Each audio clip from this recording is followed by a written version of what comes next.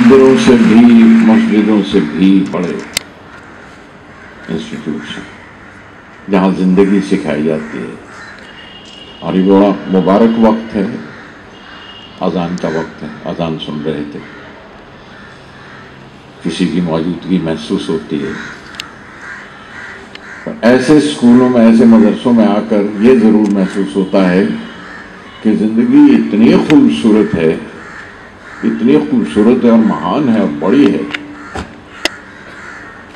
और जो हिस्से में आई, थोड़ी सी हिस्से में आई, वो भी सर पर उससे तसल्ली हुई। लेकिन कितना कुछ रह गया करने के लिए, ख़ास तौर पर लकीरें खींचना, बच्चों के काम है, वो करते हैं, अपने हिसाब से बना देते हैं, वो शक्ल कहते हैं, ये मामा मैंने घोड़ा बनाया। और वो बना के तो मुझे कभी कभी लगता है ये एब्स्ट्रैक्ट आर्ट तो उसी वक्त शुरू हो गया था। जिस वक्त बच्चों ने अपने इम्प्रेशनिज्म इम्प्रेशनिस्टिक घोड़े बनाए थे। लेकिन उसको कहीं ना कहीं आके आप जब रियलिटी में शक्ल देते हैं और उस रियलिटी से गुजर जाते हैं तो उसका आखिरी मुकाम फिर एब्स्ट्रैक्ट हो जाता है। कुछ इस तरह के तजर्बे हुए पेंटिंग्स के साथ। मैं काश मैं पेंटर होता या किसी तरह कुछ ड्राइंग सीख लेता तो शायद किसी किसी को इम्प्रेस कर लेता, किसी लड़की को इम्प्रेस कर लेते जवानी में उसकी तस्वीर बना उसकी पेंटिंग से ज़्यादा पेंटर्स की लाइफ पे जानना चाहते थे, लेकिन पेंटिंग उनका मीडियम था जिससे हम उस दौर को समझ लेते थे। और बाद में तलुलु उतरे उनकी पेंटिंग्स जहाँ जहाँ मिली।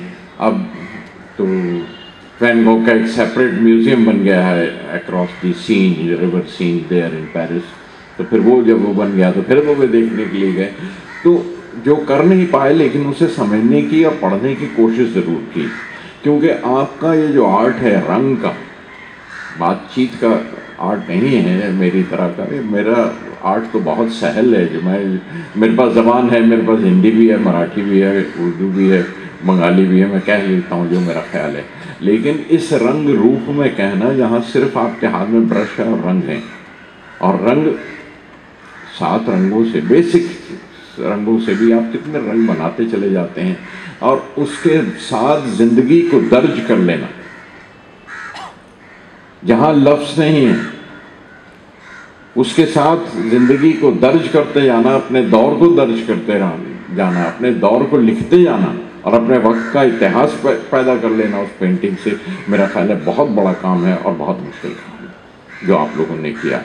मैं मैं तो बल्कि पिछले साहब से फिर कहूँगा कि म्यूज़िक पेंटिंग आर्किटेक्चर ये फाइन आर्ट जो हैं, ये मैं कमतर नहीं समझता राइटर्स को, लेकिन इस राइटिंग की कला से बहुत ऊँचे हैं ये आर्ट्स आपके, जिसमें आप काम कर रहे हैं। और इसमें आप अपने वक्त को दर्ज कर रहे हैं सबसे बड़ी बात है कि सोशली कॉन्शियस रहना कि आप क्या कर रहे हैं। आप अपने वक्त को, ये मत भूलिएगा कि अपने वक्त को दर्ज कर रहे हैं। जब मैं कह रहा हूँ कि you are noting down the history of your times and your work must reflect that मुझे हमेशा किसी भी फाइन आर्ट में ये महसूस होता है कि मैं, ख़ासतौर पर जो म्यूज़िक में जैसे मिक्सिंग शुरू हो गई। वाई स्पॉइल हिस्ट्री आप क्या अजंता लोरा को जाके रीपेंट करेंगे क्योंकि रंग डिम हो गए हैं? आप ये नहीं कर सकते। ये हिस्ट्री के साथ ऐसी, ऐसा खिलवाड़ भी नहीं कर सकते। हिस्ट्री के साथ ये सब नहीं कर सकते। इसलिए वो एक जिम्मेवारी की बात है जो किसी भी फनकार को, किसी भी आर्टिस्ट को अपने साथ कॉन्शियसली रखना बड़ा ज़रूरी है। मैं बल्कि, मुझे अगर आप लोगों ने बुलाया और मौका दिया तो मैं तो फिर आके आपका काम देखना चाहता हूँ। बताने के लिए नहीं, सीखने के लिए देखना चाहता हूँ कि आप हमारे दौर को किस तरह से दर्ज कर रहे हैं, किस तरह से लिख रहे हैं, ताकि वो हमेशा, मैं नसीहत करने के तो काबिल ही नहीं हूँ, मैं तो कोई मैं या मेरी जनरेशन ने भी ऐसे कोई बड़ा वो नहीं किया था कि हम नसीहत करें, क्योंकि आज के दौर के मैं इन नौजवानों के हाथों में, आप नौजवानों के हाथों में हिस्ट्री है, इतिहास है, और आपको लिखना है, ये याद रखिएगा, ये कभी मत भूलिएगा। और हम अगर कलम से लिख रहे हैं तो आपको अपने रंगों से, रंग रूप से, उसकी लकीरों से आपको अपने वक्त की हिस्ट्री को दर्ज करना है। वो कुछ इंस्टीट्यूट ऐसे होते हैं, जैसे मैंने शुरू में कहा कि खुशकिस्मत हैं कि आप छू के निकले यहाँ से, अपने अपने इंस्टीट्यूट की कसम खाई जा सकती है। आपका वो स्कूल है ये J J school of arts वो है, जहाँ बड़ी हस्तियाँ, बहुत बड़े बड़े पेंटर्स यहाँ से गुजरे हैं, बहुत बड़े बड़े फनकार यहाँ से गुजरे हैं। और जैसे कभी कभी कहा करते थे कि, सुना करते थे अरे भाई, हम लोग दून से हैं। है ना? बहुत सी डिग्निटी का बदल के गाँव के बी आर हम जय जय। जय जय को आप जय जय कह के भी बुला सकते हैं, कह सकते हैं कि we are from that institute ये तो कसम खाने वाले इंस्टीट्यूट है जहाँ पे आप काम कर रहे हैं, जहाँ पे लिख रहे हैं। और मैं, मुझे एक ज़िंदगी में कुछ अवार्ड्स भी मिले हैं, कुछ तमगे भी मिले हैं, कुछ तस्वीरें भी छपी हैं, कुछ। लेकिन एक बहुत बड़ा अवार्ड जिससे आप लोगों ने नवाजा है मुझे, आप लोगों की वजह से मिला है that is one Dada Phalke award and Dada Phalke was from JJ School of Arts. Dada Phalke was from here and let me remind you, today is the death anniversary of Dada Phalke. आज उनकी anniversary है मुबारक हो आपको बहुत बहुत मुबारक हो और बहुत बहुत शुक्रिया थैंक यू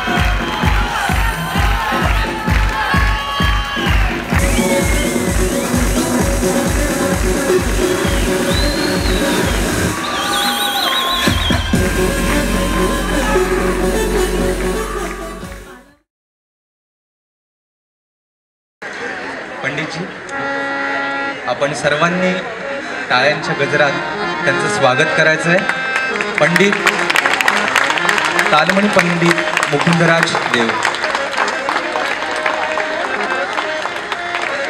नमस्ते पंडित तसेच